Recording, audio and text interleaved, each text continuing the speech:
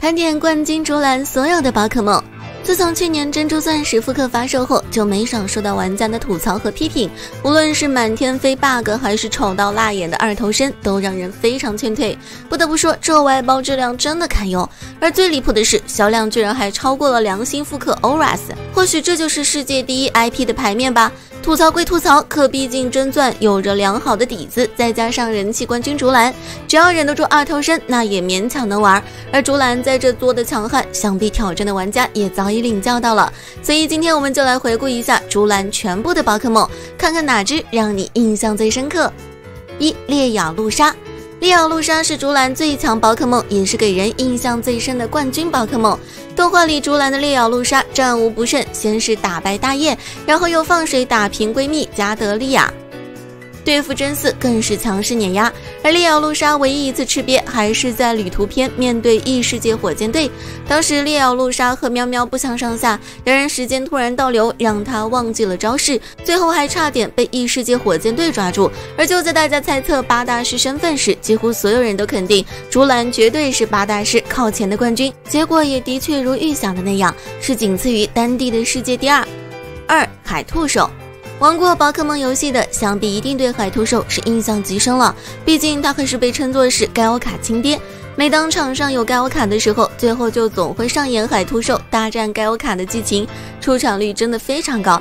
而海兔兽也是竹篮比较喜欢的宝可梦，虽然不是王牌，但竹篮也还是用它赢下了阿柳的狩猎凤蝶。轻轻反派那些虾兵蟹将还是没问题的。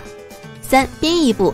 竹篮作为宝可梦首个女冠军，自然享受着女主级的待遇，也就是拥有一只伊布。还是在河中地区的时候，竹篮就用一只冰伊布帮助美洛耶塔冰敷。但除了这次外，冰伊布就再也没有出现在荧幕上了。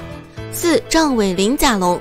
战尾鳞甲龙同样是在对抗异世界火箭队时候登场的，当时利奥露莎忘记招式，差点被活捉，但关键时候竹篮派出了他将利奥露莎救下。不得不说，竹篮姐大部分宝可梦真的都非常的强。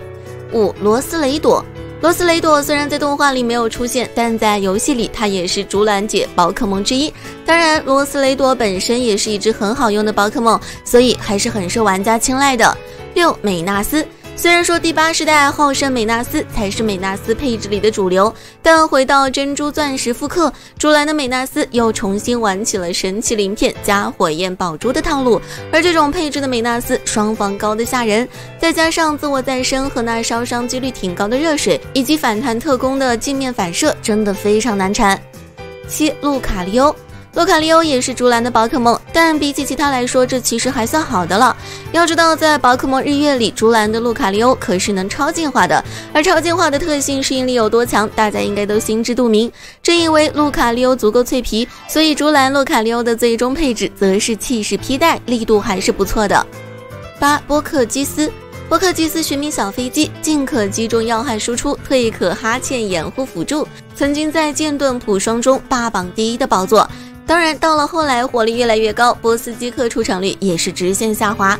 但是在真钻复刻就不用考虑到这点了。不过言归正传，波斯基克是竹篮最后两场对战才会带上的宝可梦，用来替代海兔兽，而且配置还是非常素质的天加空气斩加电磁波，这种封锁致死的打法，尤其是配上剩饭的恢复，想必挑战过的多少得有些心理阴影吧。九多边兽姬。不了解多边兽 Z 的，还以为它会和多边兽二一样是个辅助，但实际上多边兽却是个特工炮台，因为它的特性是适应力。好在多边兽 Z 是单属性，所以它在珍珠钻石复刻也没有想象中的那么离谱。不过竹篮用达人来配合其他招式输出同样不敌，不过比起竹篮的地龙来说还是差了不少。